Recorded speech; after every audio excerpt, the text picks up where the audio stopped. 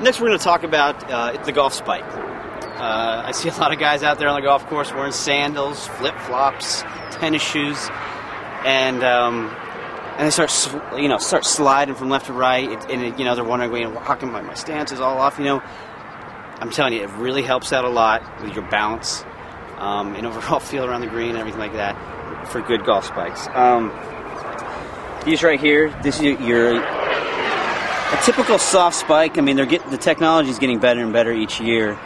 And um, you know, when they got rid of the metal cleats on a lot of the public golf courses, you know, a lot of people felt like they didn't have um, the, the stability that they wanted.